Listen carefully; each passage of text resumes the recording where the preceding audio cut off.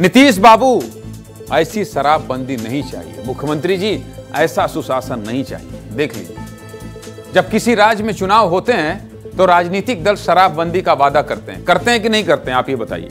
लिखा होता है ना घोषणा पत्र में, इस बार अगर हमारी सरकार बनी तो इस बार प्रदेश में शराबबंदी लागू कर देंगे, शराब पूरी तरीके से प्रतिबंधित कर देंगे। इससे प्रभावित होकर क्या होता है? पार्टियों को महिलाओं का अच्छा खासा वोट भी मिलता है।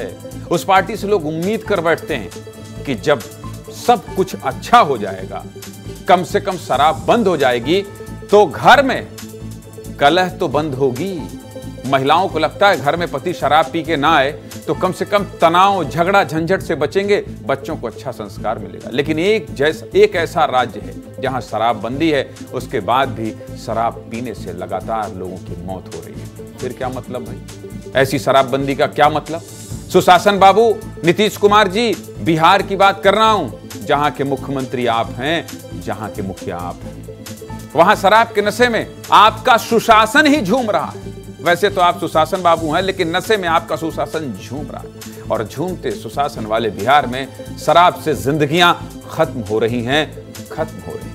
एक बार फिर शराबबंदी वाले बिहार में जहरीली शराब ने कई जिंदगियाँ खत्म कर दी हैं। सिवान, छपरा और गोपालगंज में 40 से ज़्यादा लोगों की जहरीली शराब से मौत हो गई है। जहरीली शराब पीने से मौत हो गई। है कई परिवार उजड़ गए हैं। कई गाँवों में मातम छा गया है। शराबबंदी कानून की धज्जियाँ उड़ाती, ये मौतें प्रशासन पर बार बार सवाल उठाती है। सुशासन बाबू के बिहार में हर साल कई परिवार कई परिवार जहरीली शराब की भीड़ चढ़ जाते हैं। जहरीली शराब माफिया सरकारी दावों की पोल खोल देते हैं।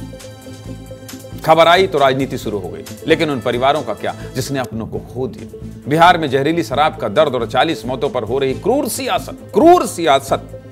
पर यह रिपोर्ट देख लीजिए, फिर पूरी खबर भी बताऊँगा। देखिए।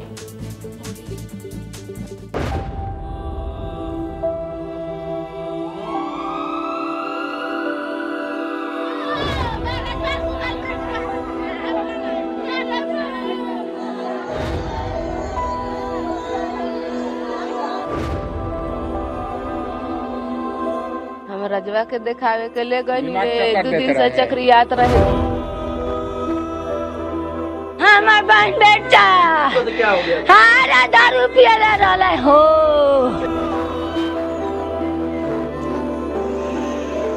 परसों पी ले रहन एक बार उल्टी भइल बस अगले जात नहीं पड़त। हॉस्पिटल में ले गए। डॉक्टर बोला कि जहरीली शराब के चलते आदमी का डेथ हुआ है। मौसर तो पता कर लो कहाँ से दारू आवत है कहाँ बिकाता। शराब पीने के वजह से मौत हुई है।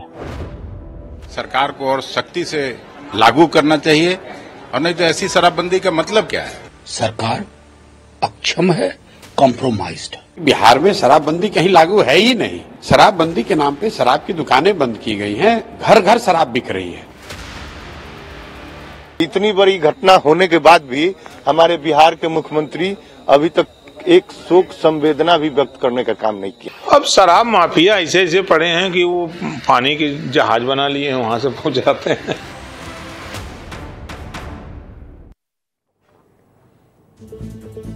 राजनीति करने वाले कब तक राजनीति करेंगे? कभी नीतीश बाबू बीजेपी के साथ रहते हैं कभी आरजेडी लालू परिवार के साथ चले जाते हैं सरकार एनडीए की हो या विपक्ष की। मौतें तो होती ही रही हैं जहरीली शराब से। और मुख्यमंत्री आप ही रहे हैं। गजब का ये भी देखिए क्या नीतीश बाबू का कनेक्शन है राजनीति से और किस तरह से रणनीति है कि चाहे लालू परिवार के साथ सरकार बनाए, आरजेडी के साथ बनाए, चाहे बीजेपी मुख्यमंत्री नहीं बदलता, सोचिए। चलिए विस्तार से कुछ आंकड़े दिखा देता हूँ आपको जो चिंता पैदा करते हैं। बिहार में शराबबंदी लागू है, आठ साल से ज़्यादा हो गया। आठ साल से ज़्यादा शराबबंदी है। एक अप्रैल 2016 से बिहार में शराबबंदी कानून लागू किया गया, लेकिन इस कानून की जमकर धज्जियाँ उड़ाई गई। इस कानून को तोड़ने के आरोप में साल 2006 माफ़ कीजिएगा 2016 से अब तक आठ लाख तिरालीस हज़ार से ज़्यादा केस दर्ज हुए। करीब साढ़े तीन करोड़ लीटर, साढ़े तीन करोड़ लीटर से ज़्यादा की अवैध शराब जब्त की गई। शराबबंदी वाला राज्य है। बारह लाख से ज़्यादा लोग गिरफ़्तार हुए। क्या मतलब है ऐसी शराबबंदी का? क्या मतलब? शराबबंदी से 2016 से लेकर अब तक 400 से ज़्यादा मौतों का दावा किया जाता है, लेकिन सरकारी आंकड़े में मौतें 200 से भी कम है। और तो और, नीतीश बाबू से सवाल करेंगे इन मौतों पर तो कहते हैं, पियोगे तो मरोगे। मतलब मुख्यमंत्री से अगर कोई सवाल करे तो कहते हैं, पियोगे तो मरोगे। अरे भाई तो शराबबंदी का क्यों ढोंग करना? सुना दीजिए जरा, नीतीश कुमार ने कब कहा था, पियोगे तो मरोगे? सुनाइए। जहरीली शराब से तो शुरू से लोग मरते हैं और देश भर में मरते हैं। लेकिन कुछ आदमी को क्या कीजिएगा? कुछ तो ऐसी गलती करता ही है। जो शराब पिएगा, वो तो मरेगा ही। तो उदाहरण ही सामने है। तो गंदी चीज़ है। अगर शराब मर रहा है तो आप सोच लीजिए।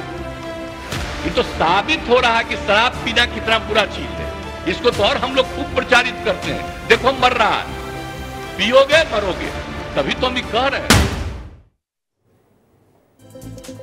साल 2022 में बिहार में जहरीली शराब से 100 से ज़्यादा मौतें हुई थी। पियोगे तो मरोगे, हद है। अरे भाई, जब शराब बंदी है तो क्यों पियोगे तो मरोगे? कहाँ से आ रही है शराब? कई परिवार उजड़ गए थे, मुख्यमंत्री जी। तब नीतीश बाबू से कहा गया कि पीड़ित परिवारों को मुआवजा दीजिए। तो साफ़ साफ़ नीतीश बाबू ने कह दिया, पियोगे तो मरोगे। बात साफ़ है, कोई मुआवजा नहीं देंगे। और सुनिए, अब जब मौतें हुई हैं तो बिहार के मद्य निषेध मंत्री से पूछा गया कि आपके बिहार में लगता नहीं है शराबबंदी फेल्योर है तो कह रहे हैं बुड़बक वाली बात मत करो। मतलब जो पूछ रहा है वही बुड़बक हो गया है। मंत्री जी को भी सुन लीजिए जरा सुनाइए। लगातार इस तरह की घटना हो रही है नहीं लग रहा है शराबबंदी फेल्योर है? ये बुर्बक वाला बात मत करो। अथी तीन सौ दो का मुद्दा ले होता है ना लोग उसमें कानून अथी मौत की सजा होती है ना? है? लेकिन सर छिटपुट घटनाएँ सामने आ रही है तो सरकार अब क्या सरकार तो जो करने का था शराबबंदी कानून लागू किया है। लेकिन समाज को जागरूक होने की ज़रूरत है। मंत्री जी का मानना है, शराबबंदी हो गई, अब समाज को जागरूक होने की ज़रूरत है। लेकिन मंत्री जी, समाज के साथ साथ पूरी सरकार को भी जागने की ज़रूरत है।